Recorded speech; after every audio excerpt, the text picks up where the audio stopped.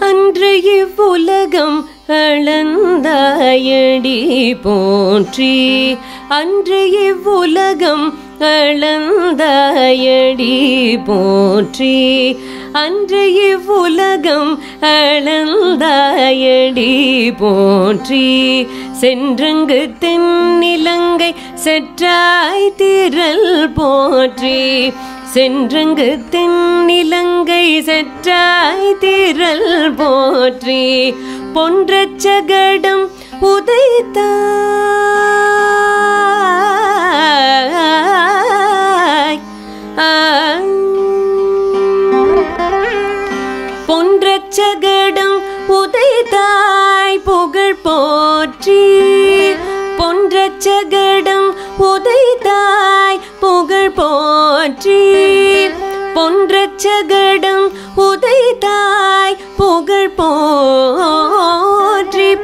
பொன்றச் சகடம் உதைத்தாய் புகழ் போற்றி. கன்று குணிலா எழுந்தாய் கழல் போற்றி.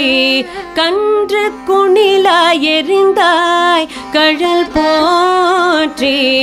கன்று குணிலா எறிந்தாய் கழல் போற்றி குன்று கூடையாய் எடுத்தாய் குணம் போற்றி குன்று குடையாய் எடுத்தாய் குணம் போற்றி வென்று பகை கெடுக்கும் நின் கையில் வேல் போற்றி வென்று பகை கெடுக்கும் நின் கையில் வேல் போற்றி.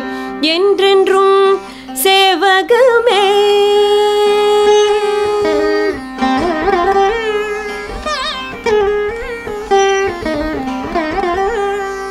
என்றென்றும் சேவகமே ஏத்தி பறை கொள்வான் என்றென்றும் சேவகமே ஏத்தி கொள்வான் என்றென்றும் சேவகமே ஏத்தி பறை கொள்வான். இன்று யாம் வந்தோம் இறங்கேலோரெம்பவாய் இன்று யாம் வந்தோம் இறங்கேலோரெம்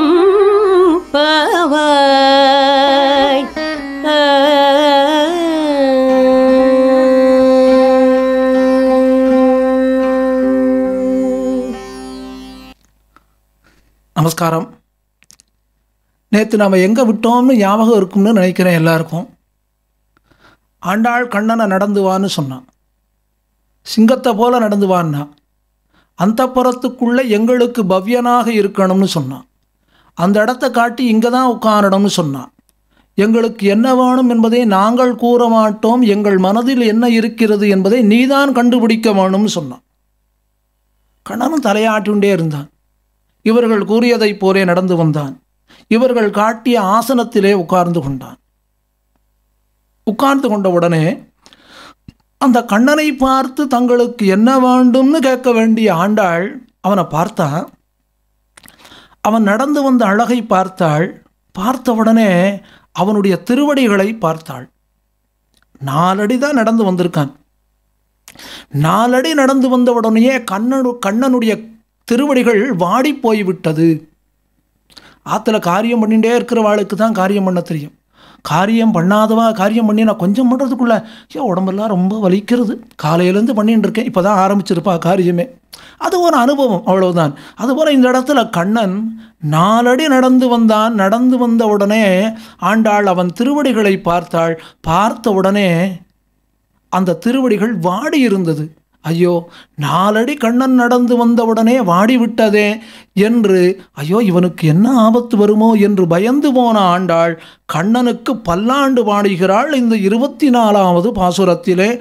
அன்று இவ்வுலகமளந்தாய் அடி போற்றி சென்றன்கு தென்னிலங்கை செற்றாய் திரள் போற்றி பொன்னச்சகடமுதைத்தாய் புகழ் போற்றி கன்று குணிலா எரிந்தாய் களல் போற்றி குன்று குடையாய் எரிந்தாய் குணம் போற்றி வென்று பகைகெடுக்கும் நின் கையில் வேல் போற்றி என்றொன்றும் உன் சேவகமே ஏற்றிப் பறைகொள்வான் இன்றியாம் வந்தோம் இறங்கேலோர் எம்பாவாய். கோபிமார்கள் நடந்துவான்னு சொன்னார்கள் கண்ணன் நடந்து போனான்.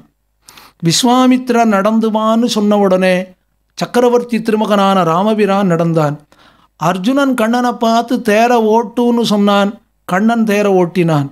விபீஷணன் சமுத்திரராஜாவிடத்திலே சரணாகதி பண்ணு என்று சொன்னான். ராமபிரானும் சரணாகதி பண்ணினான். அதுபோல இங்கு ஆண்டாள் கண்ணனை பார்த்து நடந்து வா என்று கூறியவுடனே அவர்கள் கூறியவாறே நடந்து வந்து அவர்கள் காட்டிய சிம்மாசனத்திலே உட்கார்ந்து கொண்டான் கண்ணன். உட்கார்ந்து கொண்ட உடனே கண்ணனை பார்த்தாள் ஆண்டாள். கண்ணனை பார்த்தவுடனே கண்ணனுடைய திருவடிகளை பார்த்தாள். திருவடிகள் வாடி இருந்தது. உடனே ஆண்டாளுக்கு மனதிலே வருத்தம் உண்டானது. அதற்கு என்ன காரணம் என்னால் பல்லாண்டு வாடக்கூடிய பெரியாழ்வார் பெண்பிள்ளை அல்லவோ ஆண்டாள். பெரியாழ்வார் மற்ற ஆழ்வார்களைக் காட்டிலும் இவருக்குத்தான் பெரிய ஆழ்வார்னு பேர். பெரிய ஆழ்வார்னா என்ன? ரொம்ப பெரியவராக இருப்பாரா? வயசில் பெரியவரா? உயரத்தில் பெரியவரான்னா ஒருவரை நாம் பெரியவர் என்று கொண்டாடுவது அவருடைய குணங்களை கொண்டு.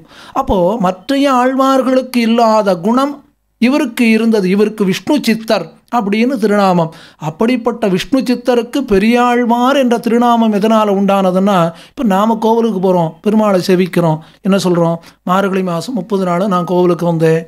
முப்பது நாளும் உபன்யாசம் கேட்டேன். முப்பது நாளும் உபன்யாசம் பண்ணினேன். தை மாதம் பிறக்கிறது. நான் நினச்சதெல்லாம் நடக்கணும். இதுதான் எல்லாருமே கோவிலில் போய் கேட்பது. அவரவர்களுக்கு எது வேண்டுமோ அதைத்தான் கோவில் போய் பிரார்த்திக்கிறோம். நாம் நினைத்தது நடந்து விட்டால் ஒருவரும் கோவிலுக்கு போகவும் மாட்டோம். நமக்கு மட்டும் கஷ்டம் இல்லைன்னு வச்சுப்போம் ஜென்மாவில். யாரும் கோவில் கிடையாது குளம் கிடையாது புராணம் கிடையாது இதிகாசம் கிடையாது ஒன்றும் கிடையாது.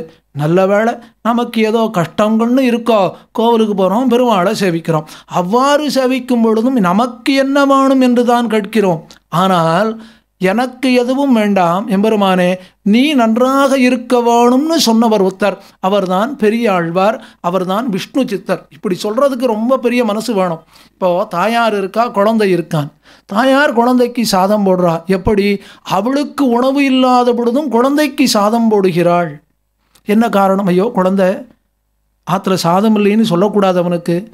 இந்த கட்டமெல்லாம் அவனுக்கு தெரியக்கூடாது. அவன் நன்னா படிக்கணும் என்பதற்காக தன்னுடைய துக்கத்தையும் வெளியே தெரிவிக்காமல் தாயார் குழந்தைக்கு சாதம் போடுகிறாள். அப்போது அந்த குழந்தைக்கு இந்த அனுபவமே கிடையாது. தாயார் சாதம் போட்டால் இன்னும் கொஞ்சம் தான் நன்னா இருக்குமேனு தான் குழந்தை சொல்வினே ஒழிய தாயார் முகம் வாடி இருக்கே அவள் ஏன் இப்படி இருக்கான்னெல்லாம் குழந்தைக்கு புரியாது அந்த பருவம். ஆனால் அப்படி இருக்கக்கூடிய இடத்துல யாதேனும் ஒரு குழந்தை தன் தாயாரை பார்த்து ஒரு அம்மா நீ எனக்கு சாதம் போட்டியே நீ சாப்பிட்டுட்டியா? நீ ரொம்ப வருத்தத்தோடு இருக்கியே? அப்படின்னு ஒரு குழந்தை கேட்டுட்டானா அந்த தாயாருக்கு குழந்தை இடத்துல.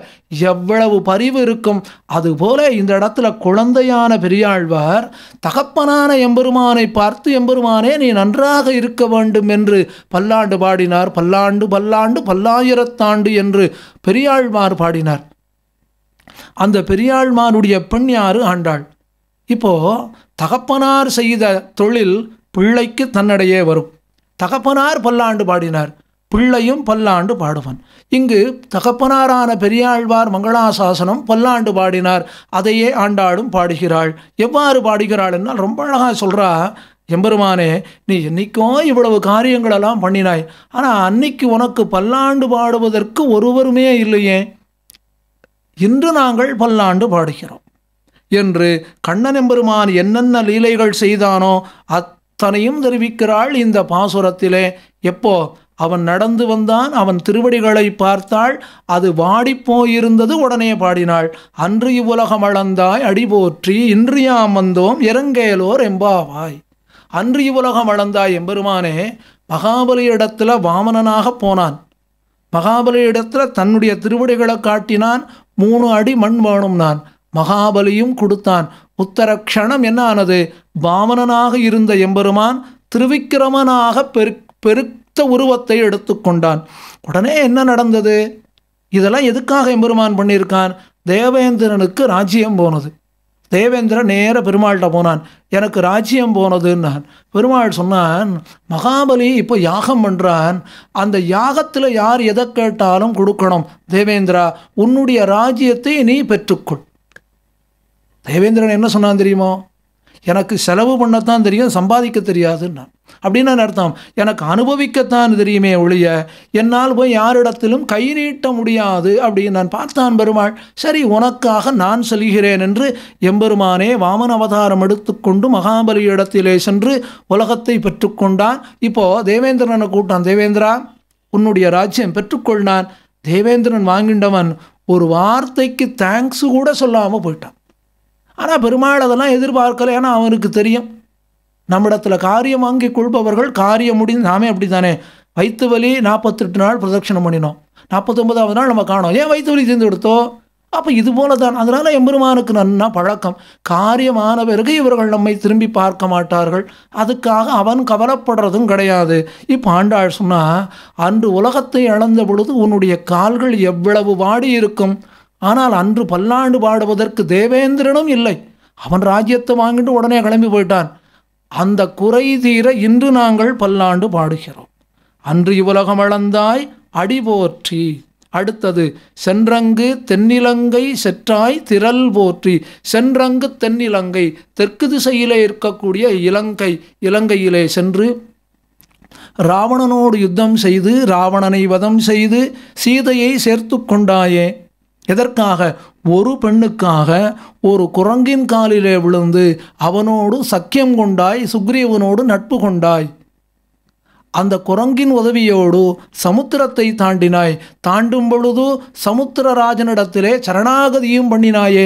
இத்தனை காரியம் யாருக்காக? சீதை என்ற ஒரு பெண்ணுக்காக. அப்போ அந்த இடத்துல எம்பெருமானே உன்னுடைய திரள் உன்னுடைய சாமர்த்தியம் உன்னுடைய வீரம் எவ்வளவு நன்றாக தெரிந்தது அதுவும் ராமபிரான் யுத்தம் பண்ணுறான் அந்த யுத்தத்தில் ஒரு ராமன் தான் இருக்கான்.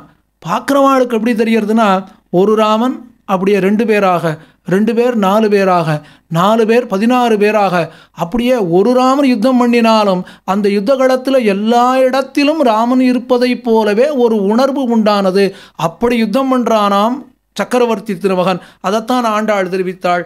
சென்று அங்கு செற்றாய் திரள் போற்றி சென்றங்கு தென்னிலங்கை செற்றாய் திரள் உன்னுடைய வீரத்தை பாடுகிறோம். திரள் போற்றி. எப்போ? இன்று யாம் வந்தோம் இறங்கேலோ ரம்பாவாய். அன்னைக்கு இவ்வளவு தூரம் யுத்தம் பண்ணினாயே.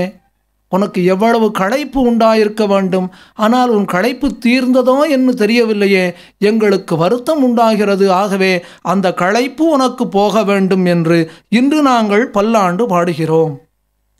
இது கூட பரவாயில்லை. ராமாவதாரத்தில் சூர்பனக நேர்லேயே வந்தான். ராமாவதாரத்தில் மாரீசன் நேர்லேயே வந்தான். ஆனால் கண்ணா நீ சிறு பிள்ளையாக இருக்கும் பொழுதோ ஒரு அசுரன் சகடாசுரன் பேர் அவன் எப்படி வந்தான்னா கண்ணன் தூளியில் தூங்க விட்டுருக்கான் யசோதை கண்ணனை. அந்த தூளி எங்கே கட்டியிருக்கான்னா ஒரு வண்டியில் கட்டியிருக்கா. வண்டியில் பின்னாடி பார்த்தா சட்டம் இருக்கும் அதில் கட்டி விட்டுருக்கா. அந்த வண்டியில் தயிர் பானைகளெல்லாம் இருக்குது கண்ணன் தூங்குறான். அப்போ இந்த கண்ணனை வதம் பண்ணவானும் என்பதற்காக கம்சனாலே அனுப்பப்பட்ட ஒரு அசுரன் என்ன பண்ணினான்? அந்த வண்டிக்குள்ளே புகுந்து கொண்டான். சுவாமி இதெல்லாம் நம்பலாமா? யாரோ கதை சொன்னாலே அப்படின்னா இதை நம்புறதுக்கு நம்ம தயாராக இல்லை. கண்ணுக்கு தெரியாத கொரோனாவை நம்புகிறோம் கொரோனாவும் எம்பெருமான் அந்தரியாமி. அதை யாரும் நம்புறதாக இல்லை. ஆனால் கொரோனா அந்தரியாமின்னா ஆமாம் வாசம் தான் கண்ணால் பார்க்க முடியாது ஆனால் அது இருக்குங்கிறது தெரியறதுன்னு ஏற்றுக்கிறோம் இது மாதிரி வியாதிகளாக வந்தால்தான் ஈஸ்வரன் ஒருத்தன் இருக்கான்ங்கிற நம்பிக்கையே உலகத்தில் உண்டாகும் போல இருக்கு. பொன்னை சகடம் உதைத்தாய். இப்போ இந்த அசுரன் என்ன பண்ணினான்? அந்த வண்டிக்குள்ள ஆவேசமாக வந்தான். பார்த்தான் கண்ணன். சரி கம்சனாலே அனுப்பப்பட்டவன் அடுத்து வந்து விட்டானே என்று கண்ணன் என்ன பண்ணினான் தெரியுமோ? குழந்தைகளுக்கு பசி எடுத்ததுன்னா கை கால்களை உதையும். குழந்தைகளுக்கே இல்லை. ஆற்றுல ஆறரை மணிக்கு காஃபி கொடுத்தாதான் சுவாமி சுவாமியாக இருப்பார். இல்லைன்னு ஆகும்? சுவாமி சுனாமி ஆகிடுவரேன் அதுவும் காஃபி அது அதுக்கேற்றதான பக்குவத்தில் இருக்கணுமே.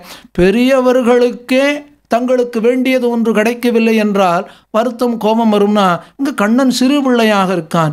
அப்போது இவனோ அந்த அசுரனோ வண்டிக்குள்ளே வந்துட்டான். இவனை வதம் பண்ணணும் எப்படி கொள்வது அதனால் கண்ணன் என்ன பண்ணினான்? தனக்கு பசிப்பதைப் போலே கைகளையும் கால்களையும் உதைத்து அந்த சகடாசுரனை வதம் பண்ணினான். பொன்னச் சகடம் உதைத்தாய் புகழ் போற்றி. என்ன காரணம்னா இந்த இடத்துல ஆண்டாள் கண்ணனுடைய பெருமையை கூறினாள். அதுக்கு ரொம்ப முக்கியமான காரணம் இருக்குது என்ன காரணம்? இது கிருஷ்ணாவதாரம். இதுக்கு முன்னாடி ஒரு அவதாரம் பண்ணினா ராமாவதாரம். அந்த ராமாவதாரத்துக்கும் கிருஷ்ணாவதாரத்துக்கும் எவ்வளவு வித்தியாசம் இருக்குது தெரியுமோ? ராமாவதாரம் என்பது எங்கள் அயோத்தியில் நடந்தது. அயோத்தி என்பது கேபிட்டல் சிட்டி படை வீடு என்று தமிழில் சொல்வா. அப்போது அயோத்தியில் ராஜா யார்? தசரதன். பிள்ளைகள் நாலு பேர். எங்கே திரும்பினாலும் வீரர்கள். பெரிய அரண்மனை. யாராலையும் உள்ளே வர முடியாது. அது மட்டும் கிடையாது. ராமனுடைய அந்தப்புறத்துக்குள்ளே தசரதனே போக வேண்டும் என்றால் வசிஷ்டரிடத்தில் கேட் பாஸ் வாங்கிக்கணும். அனுமதி வாங்கி கொண்டு தான் போக முடியும். அப்படிப்பட்ட ராமன் இருக்கக்கூடிய அயோத்தியில் ஆபத்தே இல்லை ராமனுக்கு. ஆனால் இங்கே கோகுலம் எப்படி இருக்குது இவா எல்லாம் பசுமாடு மேய்க்கிறவா. அங்கே ராமனுடைய தகப்பனார் சக்கரவர்த்தி தசரதன் பத்து திக்குகளில் ரதத்தை செலுத்தியவன். இங்கே கண்ணனுடைய தகப்பனார் யாரு? பரம சாது நந்தகோபர் மாடு மேய்க்கிறவர். சரி பிள்ளைகள் கண்ணனோட உடன் பிறந்தவன் யாரு? பலராமன். அவனாவதுன்னு அவனும் இவனோட சேர்ந்து மாடு மேய்க்கிறவன். சரி கோகுலத்தில் இருப்பவர்களாவது வீரர்களோன்னா அவளுக்கு சண்டையினாலே என்னன்னு தெரியாது. சரி ஊருக்கு ஏதாவது காவல் உண்டோ? அதுவும் கிடையாது. இப்படி இருக்கக்கூடிய இடத்திலே எத்தனை ஆபத்துகள் வந்தது கண்ணா? உன்னை நீ காப்பாற்றி கொண்டாயே பொன்றச்சகடம் உதைத்தாய் புகழ் போற்றி. அடுத்தது கன்று குணிலா எறிந்தாய் கடல் போற்றி. அழகா கண்ணனை வதம் பண்ணணுங்கிறதுக்காக கண்ணுக்குட்டி வடிவத்தில் வத்சாசுரன்னு ஒருத்தன் வந்தான். ரொம்ப சாமர்த்தியமாக இருந்தோம்னா என்ன பண்ணுவான்னா நமக்கு ஒரு எதிரி இருக்கான். அவனோட நாம் மோதவே கூடாது. அந்த எதிரியை நம்முடைய இன்னொரு எதிரியோடு மோத விட்டு தான் நாம் வேடிக்கை பார்க்கணும். நாம் வேடிக்கை பார்த்துட்டே இருக்கணும். அவள் ரெண்டு பேரும் சண்டை போட்டு கொண்டு ஓய்ந்து விடுவார்கள். இது வந்து இது ஒரு ஒரு டெக்னிக். நன்னா அந்த கிரிமினல் லாயர்ஸ் எல்லாம் என்ன பண்ணுவான்னா கோர்ட்டில் ஆர்கியூ பண்ணுறான்னா அதிகம் பேசவே மாட்டா. எதிர இருக்கக்கூடிய வக்கீலை ஒன்றரை மணி நேரம் பேச விட்டுடுவா. அவர் பேசி ஓஞ்சு போயிடுவார். இவர் ஒரு வார்த்தை சொல்வார் கேஸே முடிஞ்சு போயிடும். அதெல்லாம் அது ஒரு சாமர்த்தியம். அதுபோல் இந்த இடத்துல கண்ணன் என்ன பண்ணினான்? பத்சாசுரன் ஒரு சின்ன கண்ணுக்குட்டி வடிவத்தில் ஒரு அசுரன் வந்தான். அதே சமயத்தில் வேறு ஒரு அசுரன் ஒரு விளாமர வடிவத்தில் காத்துன்னு இருக்கான் கண்ணன் மேலே விழுந்து இவனை கொன்னுடணும்னு. கண்ணன் என்ன பண்ணினான் தெரியுமோ? இந்த வத்சாசுரன் கண்ணுக்குட்டியை எடுத்தான் கண்ணுக்குட்டியை தூக்கி நாலு கால்களையும் சேர்த்து தலைக்கு மேலே கிருகிருவினை சுற்றி அந்த மரத்தின் மீது எறிந்தான். ஒரே ஷாட்டில் வத்சாசுரனும் காலி அந்த மரத்தின் வடிவத்திலே வந்த அசுரனும் கா உயிரை விட்டான். அதைத்தான் இங்கு ஆண்டாள் தெரிவித்தாள். கன்று குணிலா எறிந்தாய் குணில் அப்படின்னா என்னதுன்னா அந்த சின்ன வயசில் விளையாடுவாள் ஒரு கல்லை வச்சுட்டு அப்படி அடிக்கிற ஒரு கருவி அதற்கு குணில் என்று பெயர். இங்கு கண்ணன் என்ன பண்ணினான்? அந்த கன்றுக்குட்டி வடிவத்திலே வந்த அசுரனை கொண்டு விளாமரத்தின் வடிவத்திலே வந்த அசுரனை கொன்றான். அதை இங்கு பாடினாள் பல்லாண்டு பாடினாள். இதெல்லாம் சரி இதுக்கு மேலே ஒரு பெரிய வேலை பண்ணினான் கண்ணன். குன்று குடையாய் எடுத்தாய் குணம் போற்றி. எப்பொழுதும் தேவேந்திரனுக்கு பூஜை நடக்கும். இந்த வருஷம் நடக்கலை. கண்ணன் சொன்னான் நம நாமெல்லாம் பசுமாடுகளை மேய்க்கிறவா? பசுமாடுகளுக்கு பால் பிரதானம். பசுமாடுகளுக்கு பால் கிடைக்க வேண்டும் என்றால் நன்றாக புல் செடி தழைகளை எல்லாம் சாப்பிடணும். செடி கொடிகள் நன்றாக வளர வேண்டும் என்றால் மழை பெய்ய வேண்டும். மழை பெய்தாலும் ஒரு மலையின் அடிவாரத்திலே இருப்பவர்கள் நாம். நாமெல்லாம் நாடோடிகள். நமக்கு தெய்வம் யார் என்றால் தேவேந்திரன் கிடையாது. மலைகள் தான் நமக்கு தெய்வம். ஏன்னா நாடோடியாக இருக்கிறவன் இங்கே இருப்பான் ஆறு மாதம் இன்னொரு ஊருக்கு போவான் ஆறு மாதம் மலையின் அடிவாரத்திலே இருப்பான். ஆகவே நமக்கு மலைதான் தெய்வம்னு கண்ணன் சொன்னான். உடனே நந்தகோபாலனும் சரி என்று தெரிவித்துவிட எப்பொழுதும் தேவேந்திரனுக்கு பண்ணக்கூடிய பூஜையை நிறுத்தினார்கள். மலைக்கு பூஜை பண்ணினார்கள். பார்த்தான் தேவேந்திரன். கோபம் வந்தது. கோகுலத்தில் ஒவ்வொரு வருஷமும் நமக்கு நடக்கக்கூடிய பூஜை நின்று போனது. அதற்கு யார் காரணம்? யாரோ ஒரு சிறு பயல். மாடு மேய்க்கிறவன். இவன் சொன்னதை கேட்டுண்டு நந்தகோபாலன் இந்த காரியம் பண்ணினானா? அவனுக்கு சரியான பனிஷ்மெண்ட்டை கொடுக்கணும்னு தீர்மானம் பண்ணினான் தேவேந்திரன். கையில் பவர் இருக்கு. உடனே என்ன பண்ணினான்? ஏழு நாட்கள் இடைவிடாமல் மழை பெய்தது. இப்போ பார்க்குறவன் அந்த மழை எப்படி இருக்குன்னு பார்க்க வேண்டாம். இப்போ கூட மழை பெஞ்சுட்டு தானே இருக்குது பெஞ்சதுன்னா ஒரேடியாக மழை பெஞ்சு விடுறதே. மழை பெய்தது கோகுலத்தில் எங்கு பார்த்தாலும் வெள்ளம். பசுமாடுகள் எல்லாம் வெள்ளத்திலே அடித்து செல்லப்பட்டது. அப்போ எல்லாரும் கண்ணனிடத்திலே போனார்கள் கண்ணா எங்களை நீதான் ரட்சிக்க வேண்டும். கண்ணஞ்சு நான் கவலையே படாதீங்க. நான் இருக்கேன்னு சொன்னவன் என்ன பண்ணினான் தெரியுமோ? எந்த மலைக்கு இவர்கள் பூஜை பண்ணினார்களோ அந்த மலையை தூக்கி நிறுத்தினான். அந்த மலைக்கு கோவர்தன மலைன்னு பேர். பசுக்களை காப்பாற்றிய மலை என்று பெயர். அதைத்தான் இங்கு ஆண்டாள் தெரிவிக்கிறாள். குன்று குடையாய் எடுத்தாய். அந்த மலையை தூக்கி தன்னுடைய சுண்டு விரலாலே ஆழ்வார்கள் என்ன தெரிவிக்கிறானோ ஐந்து விரல்களையும் சேர்த்து கொண்டான் என்று. வடநாட்டில் இருக்கக்கூடிய மீராபாய் போன்றதான பக்தர்கள் கோவர்த்தன கிரிதாரி என்று தன்னுடைய சுண்டு விரலாலேயே கண்ணன் அந்த மலையை தூக்கி நிறுத்தினான் என்றும் கூறுகிறார்கள். ஏழு நாட்கள் மழை பெய்தது. எல்லாரும் பத்திரமா நிற்கிறா இந்த மலைக்கு கீழே. கண்ணன் கவலையே படலை. முகத்தில் கொஞ்சம் கூட வருத்தம் இல்லை. ரொம்ப ஆனந்தம். உடம்புல எங்கேயாவது வாட்டம் உண்டாகணுமே சலிப்பே இல்லாமல் இருந்தான். பார்த்தான் தேவேந்திரன். நடுங்கி போனான். கீழே இறங்கி வந்தான் மழை நின்னது கண்ணனை சேவித்தான். கண்ணனை சேவித்து விட்டு நான் ஏதோ தெரியாமல் தப்பு பண்ணிவிட்டேன். நீ என்னை மன்னிக்க வேண்டும்னு கண்ணன் கண்ணனை பார்த்து தேவேந்திரன் பிரார்த்தித்தான். கண்ணனும் தேவேந்திரனை மன்னித்தான். இந்த குணத்தை ஆண்டாள் இங்கு தெரிவிக்கிறாள் குன்று குடையாய் எடுத்தாய் குணம் போற்றி. அடுத்து என்ன சொன்னாள்? வென்று பகைகளுக்கும் நின் கையில் வேல் போற்றி. இதுவரைக்கும் குணம் போற்றி. புகழ் போற்றின்னு சொல்லிக்கொண்டே வந்த ஆண்டாளுக்கு ஒரு பயம் உண்டானது. என்ன பயம்னா அவர் யார் தெரியுமோ? அவரை போல யாருமே இல்லை. அப்படின்னு அவரோட பெருமையை சொல்லுண்டே வருவா. சொல்லிட்டு வந்து விட்டானா சொல்லிண்டு வரவா யார்? அவருக்கு ரொம்ப வேணுங்கிறவா. திடீர்னு பயம் உண்டாயிடும். ஐயோ அவர் மேலே திருஷ்டி வந்து விட போகிறதே அப்படியே ஒரு பயம் வந்துவிடுமே. அதுபோல் ஆண்டாள் பார்த்தா எல்லாத்தையும் கண்ணன் பண்ணினான்னு சொன்னால் கண்ணனுக்கு திருஷ்டி வந்துவிடுமே. அதாவது யசோதை கண்ணனுக்கு அலங்காரம் பண்ணுவள். அலங்காரம் பண்ணிட்டோ ஒரு திருஷ்டி பொட்டு வைப்பலாம் அந்த திருஷ்டி பொட்டே திருஷ்டி போடுவதற்கு உறுப்பாக இருக்கும்.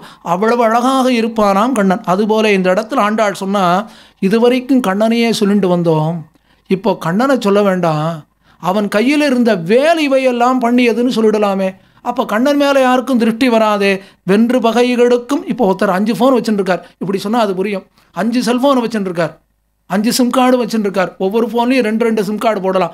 சொல்கிறதே என்னன்னா சொல்லலாமே இப்போ என்ன கடுப்படுத்து பத்து அஞ்சு ஃபோன் பார்த்தா சொல்லுவா ஐயோ அஞ்சு ஃபோனா அஞ்சு ஆப்பிள் ஃபோன் சாதாரண சாம்சங் ஃபோன் இல்லை. ஆப்பிள் ஃபோனே ஒன்றரை லட்சம் ரூபா. சொல்கிறது சொல்கிறேன் நன்னாவே சொல்லுவோம். அஞ்சு ஆப்பிள் ஃபோன் ஒன்று ஓ அவ்வளோ பெரிய பணக்காரரான்னா அவர் என்ன சொல்லுவார் தெரியுமா? ஐயோ இதெல்லாம் என்னோடது எதுவுமே இல்லை. எல்லாம் அவாவா யாருடையதோ நான் மாட்டு வச்சுட்டுருக்கேன் எல்லாம் இவருடையதாகத்தான் இருக்கும். ஆனால் சொங்க எங்கே கண்ணு போட்டு விடுவாளோ? எங்கே திருஷ்டி போட்டு விடுவாளோ? என்ன நாம் அனுபவத்தில் பார்க்குறோமே? அதுபோல் இந்த இடத்துல ஆண்டாள் தெரிவித்தாள். வென்று பகைகளுக்கும் நின் கையில் வேல் போற்றி. இதெல்லாம் கண்ணன் பண்ணலை. கண்ணன் கையில் இருந்த வேலே பண்ணியதே என்று வேலை கொண்டாடினாள். வென்று பகைகளுக்கும் நின்கையில் வேல் போற்றி. என்றென்றும் உன் சேவகமே ஏற்றி பறை கொள்வான் கண்ணா எதுக்காக நாங்கள் வந்து இவ்வளவு நேரம் பாடுறோம் தெரியுமா? எங்களுக்கு ஒரு பிரயோஜனம் வேண்டாம். எங்களுக்கு என்ன வேணும்?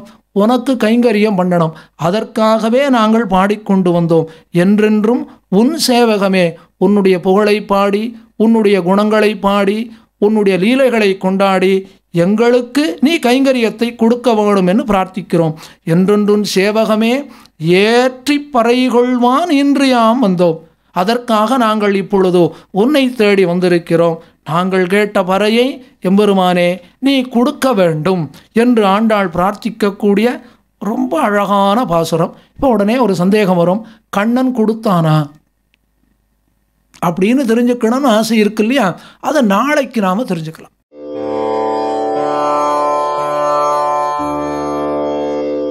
திருச்சிற்றம்பலம்.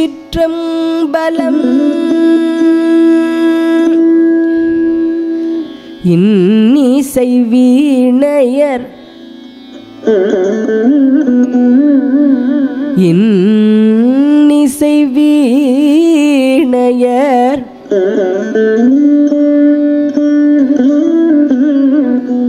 இன்னிசை வீ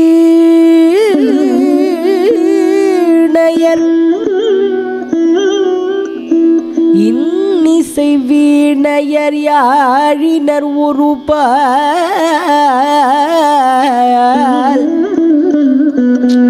இரு கொடு தோத்திரம் இயம்பினர் ஒரு பால் இரு கொடு தோத்திரம் இயம்பினர் ஒரு பால் துண்ணிய பிழை மலர் கையினர் ஒரு பால் துண்ணிய பிணை மலர் கையினர் ஒருப்பார் சென்னியில் அஞ்சலி கூப்பினர் ஒருபால். தொழுகையர் அழுகையர் துவள்கையர் ஒரு பால் அழுகையர் ஒரு பால்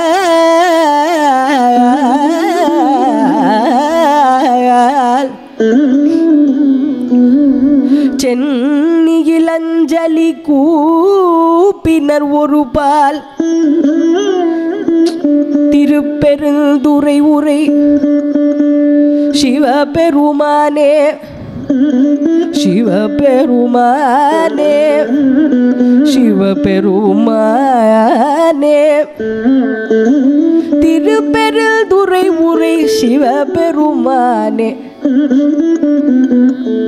சிவபெருமானே.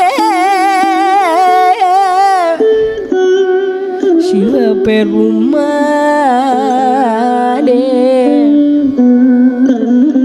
என்னையுமா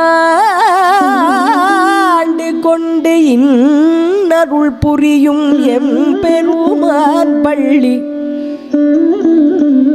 எம் பெருமான் எம் பெருமான் பள்ளி. எம்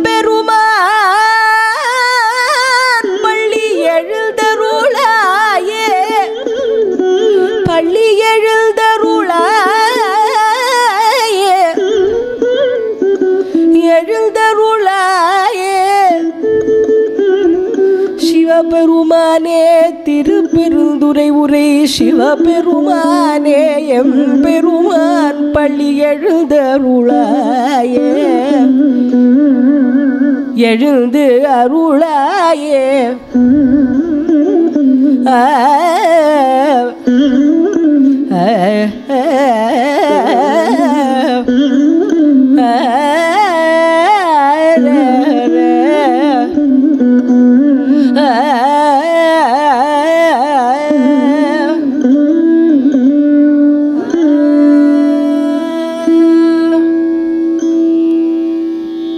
திருச்சிற்றம்பலம். இன்னிசை வீடகர் யாழினர் ஒரு பாயால் இரு கொடு தொத்திரம் இயம்பினர் ஒரு பால். துண்ணிய பிணை மலர் கையினர் ஒரு பால். தொழுகையர் அழுகையர் துவழ்கையர் ஒரு பால். சென்னையில் அஞ்சலி குப்பினர் ஒரு பால். திருப்பெருந்துரையுரை சிவபெருமானே என்னையும் ஆண்டு கொண்டு இன்னருள் புரியும் எம்பெருமான் பள்ளி எழுந்தருளாயே. இன்னிசை வேணையர்.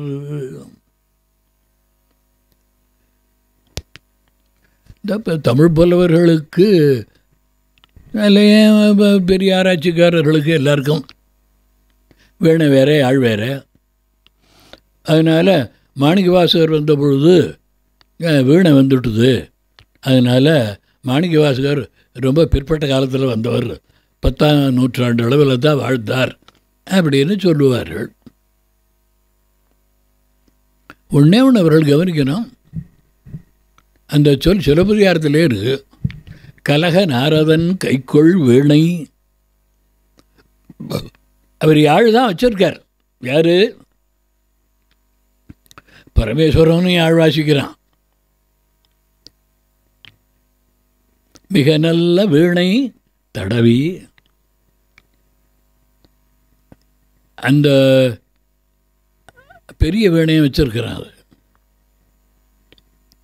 நாரதர் வச்சிருக்கிறதுக்கு மகத்தின்னு பேர். தமிழில் பெருங்கலம் ஆயிரம் நரம்பு அது. அதாவது ஆயிரம் கம்பி. வீணை வச்சு பார்த்தோம்னால ஆயிரம் கம்பி. அது எப்படி சார் இருக்கும்னா அது போட்டு காமிச்சிருக்கார் ஒருத்தர். யாழ்நூல் ரெண்டாவது பதிப்பில் அப்படி இருக்கும்னு. அது உண்மையில் ஆயிரமா? நிறைய க தந்திகள் இருக்கா? அப்படிங்கிறது நமக்கு புரியல. தந்திகள் கொஞ்சம் க நிறைய இருக்கும் போல் இருக்கு. அதனால அதுக்கு பெருங்கலம்னு பேர். அப்போ வீணை எப்படி வந்தது சார்? அது சம்ஸ்கிருதம் இல்லையா? அது பின்னால் தானே வந்திருக்கணும் அதெல்லாம் இல்லையா? தமிழ்ச்சொல் தான். அது என்னன்னு கேட்டால் தலைவலி. விண்ணு விண்ணுன்னு தெரிக்கிறதும்பா இந்த விண் விண் என்ன? விண்ணுதல்ல தெரித்தல்னு அர்த்தம். அந்த தெரித்தல் என்கிற ஒரு கரணம் எல்லா கரணத்துக்கும் ஆகி வந்து அதை உடைய வீணைக்கு ஆகி வருகிறது. யாழ் தான் வீணை வேற அப்போ பின்னால் யாழ்னு தனியாக பிரித்து சொல்கிறாரு சார். ஐயா அது வந்து யாழ்னா இங்கே ஓசைன்னு அர்த்தம். இனிய ஓசைன்னு அர்த்தம். ஏழு சுரங்களையும் யாழ் என்று சேர்த்து சொல்லுவது தொல்காப்பிய மரபு. யாழும் பறையும் கருப்பொருள்களில் ரெண்டாக வரும். பார்க்கலாம். இப்போ யாழ்னா கருவி அல்லங்க அதுக்குரிய டியூன் அர்த்தம். இப்போ வீணையரில் வீணையை வைத்துக்கொண்டு யாழ் வாசிக்கிறார்கள்னு பொருள் அவ்வளோதான் அது பண்ண தெரியாத மற்ற வாரியர்கள் கால ஆராய்ச்சியாளர்கள் இருக்கிறார்கள். கொஞ்சம் சங்கீதம் படித்திருந்தார்களானால் புரியும். அவ்வளோதான் அதுக்கு மேலே நான் ஒன்றும் சொல்கிறதுக்கு இல்லை. அடி புலவர்களாக இருக்கிறவர்கள் சங்கீதமும் கொஞ்சம் பழகியிருக்கணும் அடிப்படை. நான் ஒன்றும் கச்சேரிக்கு போகணும்னு சொன்னேன். அதே மாதிரி சங்கீதக்காரர்கள் கொஞ்சம் தமிழ் படிக்கணும்.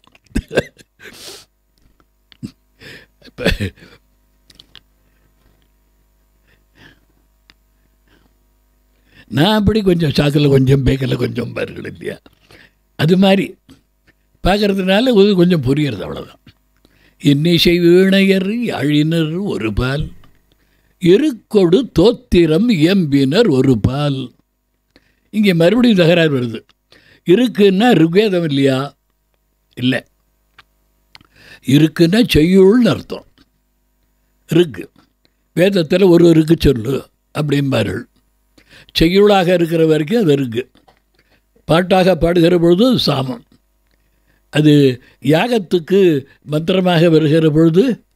யஜுஸ் எல்லாம் ஒன்று தான் வேதம் ஒன்று தான் அது அந்த மூன்று விதமாக பிரிகிறது.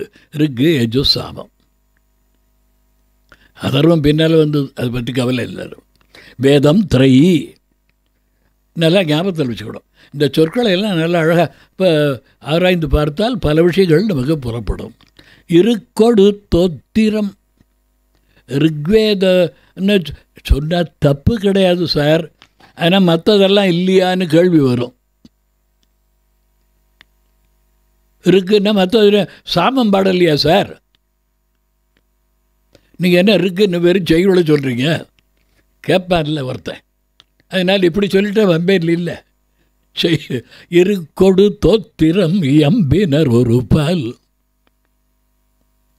தோத்திரம் எம்பினர் இருக்கு எம்பினர் என்னை போல சங்கீதம் தெரியாதவன் சொதியே சுடரே சுழொளி உடைக்கே சுரி உடர் படைமுறை படத்தை பாதி என்ன வசனமாக தான் சொல்லுவான். இல்லையா? மற்றவனார் தான் நீட்டி முழக்கி பாட்டு பாடுவான். இருக்கொடு தோத்திரம் எம்பினர் ஒரு பால் எல்லாருக்கும் இடம் உண்டு சார். சங்கீதம் பாடுறவருக்கு தான் கடவுள் சந்நிதியில் இடம் அப்படின்னு சொன்ன சங்கீதம் எப்படி வேணாலும் போட்டு அதை பற்றி நமக்கு கவலை இல்லை. அது எதுக்கு அது குப்பை. கடவுளுக்கு எல்லாம் ஒன்று தான் முடிஞ்சால் சங்கீதம் பாடு இல்லைன்னா போ. அதனால்தான் சொன்னார் கோழை மிடராக கவி கோழு பெலவாக வகை கூ நகை கூடு வகையால் ஏழை அடியார்கள் யாவை சொன்ன சொல் மகிழும் ஈசனிடமாம். சார் நீங்கள் அழகாக பாடுறீங்க சார். கொல்லி கபானம் பாடுறீங்க. எனக்கு அதெல்லாம் தெரியாது சார். சும்மா படிப்பு அவ்வளோதான் போருண்டா. தேவாரம் பாடு. பாட வேணாம் உனக்கு எப்படி வருது அப்படி பாடு. ஏழை அடியார்கள் யாவை சொன்ன சொல் மகிழும். அதனால்தான் இருக்க நான் வெறும் சொல்லுன்னு சொன்னேன் வேற ஒன்றும் இல்லை. சார் தான் சொல்லுவேன்னா சொல்லு தப்பு இல்லை. இருக்கொடு தொத்திரம் எம்பினர் ஒரு பால் துன்னிய பிணைமலர் கையினர் ஒரு பால் துன்னிய பிணை மலர் பிணைதல் கட்டியன்னு அர்த்தம். பிணை ம- பூமாலை கட்டி கொண்டு போகிறார்கள் துன்னிய பிணை மலர் கையினர் ஒரு பால் தொழுகையர். தொழுத கை. தொழுத கை கை கூப்பினால் அது தொழுகை. பல பேர் அழுகையர் அழுகையர். அதெல்லாம் வந்து தொழிற்பெயர் அழுகையர் தொழுகையர் அழுகையர் அழுகிறார்கள். கோயிலுக்கு போனால் அழுக வரணும் சார். தொழுகையர் அழுகையர் துவழ்கையர் ஒரு பால். நின்னா நிலை கொள்ளக்கூடாது. உடல் அப்படியே நடுங்கணும். சென்னையில் அஞ்சலி குப்பினர் ஒரு பால் திருப்பெருந்துறையுரை சிவபெருமானே என்னையும் ஆண்டு கொண்டு இன்னருள் புரியும். அது என்ன? என்னையும் இவர் கடவுள் இடத்துல போய் என்னை ஆண்டு கொண்டு கேட்கவே இல்லை. அவனாக வந்து ஆண்டு கொண்டான். எங்கேயோ திருப்பெருந்துறை காட்டில் போய் உட்காந்துருந்தான் குருந்த மரத்தடியில். சத்தம் கேட்டு போனாரியா இந்த மாணிக்க வாசகர் அமைச்சர். அவரை கூப்பிட்டு மந்திரோபதேசம் பண்ணி காலில் விழ வச்சு விட்டான் அவ்வளோதான் அவருக்கு உலகமே மறந்து போச்சு. என்னையும் ஆண்டு கொண்டு நினைக்காத என்னையும் நினைப்பித்து ஆண்டு கொண்டானா அவன். நயனையும் எங்கு ஒரு பொருளாக நயந்து வந்து நீயே நினைவின்றி ஆண்டு கொண்டாய். நீயே நினைவின்றி. என் நினைப்பு கிடையாது. நீ தான் நினைச்ச. தாய் வந்து குழந்தைக்கு பசிக்குவேன்னு அவளாக வந்து தொட்டிலேருந்து எடுத்து பால் ஊட்டியது போல. என்னையும் ஆண்டு கொண்டு இன்னருள் புரியும் எம்பெருமான் பள்ளி எழுந்தருளாயே. அடுத்து.